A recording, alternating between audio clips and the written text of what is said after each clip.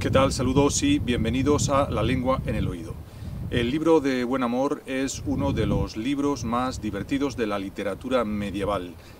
Fue escrito en el siglo XIV por Juan Ruiz, arcipreste de Ita.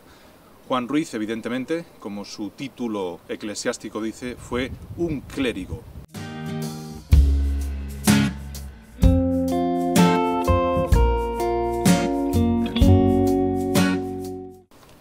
El libro de Buen Amor contiene un hilo argumental en torno al cual se van situando o tejiendo otras historias aparentemente fuera de ese argumento.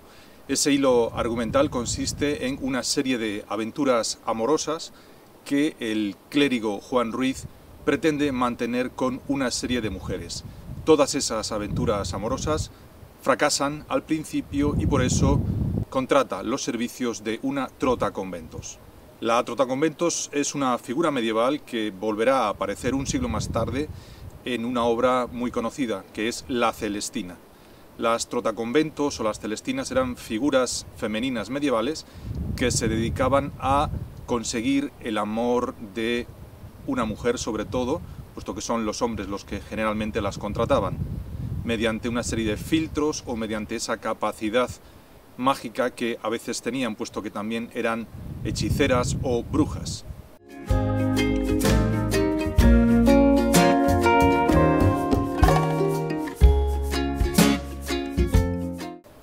Una de las aventuras amorosas más conocida es la que mantiene Juan Ruiz con Doña Endrina, para la cual, como acabamos de decir, contrata los servicios de trotaconventos.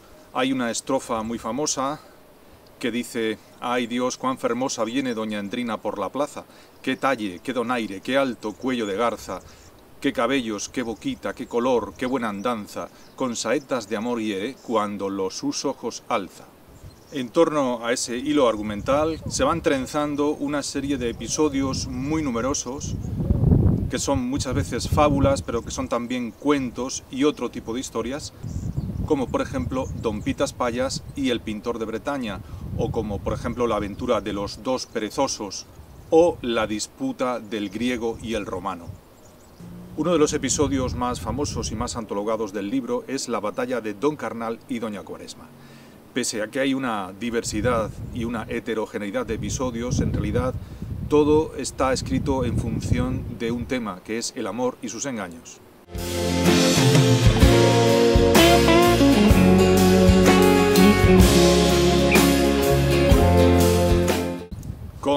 A la intención del libro, es difícil establecer un objetivo o una intención clara por parte de Juan Ruiz. En realidad hay una serie de episodios que parecen tentar, digamos, al pecador, pero por otra parte Juan Ruiz no deja de lanzarnos sermones de tipo moral o doctrinal. Por lo tanto, eh, su finalidad o su objetivo, su intención literaria es realmente ambigua. Parece decirnos que si el pecador quiere caer en el pecado, o si el ser humano o el cristiano quiere caer en el pecado, lo que realmente puede hacer es seguir todos esos ejemplos de mal amor que están distribuidos por el libro.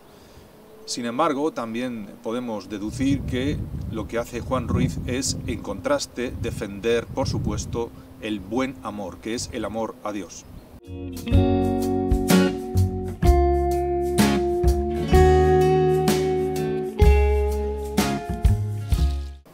En cuanto a su estilo, cabe decir que es un libro profundamente irónico o profundamente paródico. El sentido del humor está siempre presente y ese sentido del humor, en definitiva, lo que pretende mostrarnos es el contraste, el fuerte contraste entre la verdad y las apariencias. Después del libro de Buen Amor, el Mester de Clerecía cae en decadencia.